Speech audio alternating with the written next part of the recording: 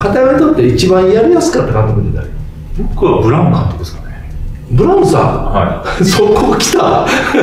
結構選手ファーストっていうか。あそうあのブラウンさんそんな感じしたはいうん星野選手さんもやって。はい。こう言っていいんですか？殴られた人間。